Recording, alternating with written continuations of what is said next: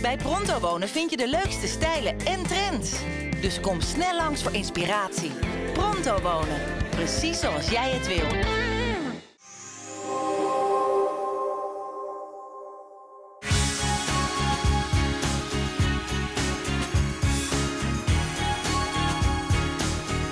En dat verkeerde weerbericht luistert elke dag, ja, dan denk je dat je heel dag in de regen zit. Maar dat is niet zo, want in de Achterhoek is alles anders. En we hebben ook best wel aardig weer, moet ik zeggen. Want het was wel fris, temperaturen waren onder de 5 graden. Maar in de ochtend was de zon er nog geregeld bij. In de middag wel wat eh, meer bewolking, maar het is uh, nog droog gebleven. En de temperatuur mocht wijzen met uh, 14 graden. Daarbij was een wind die over het algemeen wel matig was in de middagperiode.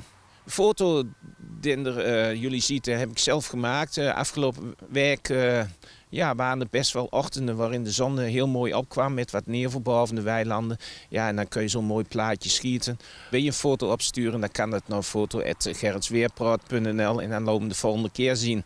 Vandaag ben ik met de Weerpraat ook niet zo wiet van u af. Ik sta hier op een plekje eigenlijk bij de Hoge Brug, maar daar heb ze al een beetje laten zakken. Eerder was het echt uh, een beetje spannend om er met de fiets overheen te komen, maar tegenwoordig is het allemaal wat uh, makkelijker. We staan in Oer met uh, de kerk op de achtergrond. En hier is ook eigenlijk eh, best wel een eh, route wat eh, veel gefietst wordt. Ja, en kunnen we morgen fietsen? Ja, we kunnen best nog wel fietsen, want er zit ook nog droog weer aan te komen. En de zon is er ook nog bij in de ochtendperiode, maar ook in de middag naast die bewolking die aanwezig is.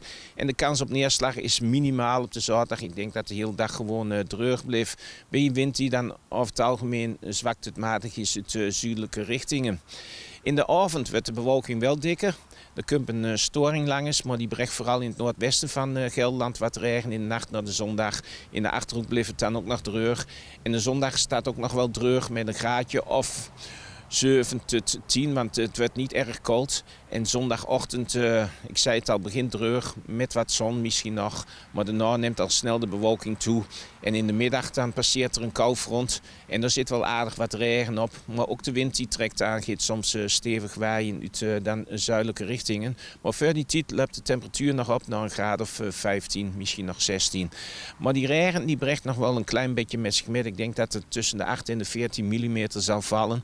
En in de avondperiode werd het dan wel weer droog. Maar achter het koufront koelt het ook wel vrij snel af. En dan merken we maandag en dinsdag, dan komt de temperatuur overdag niet witter dan 11, misschien net 12 graden. En de nachten die worden ook geleidelijk wat uh, kolder. Maandag en dinsdag is het nog droog, maar vanaf woensdag volgen toch weer een aantal dagen met wat meer nattigheid. Dus we nemen het van dit weekend, dan komt het allemaal nog goed, vooral de zaterdag. Goed gaan.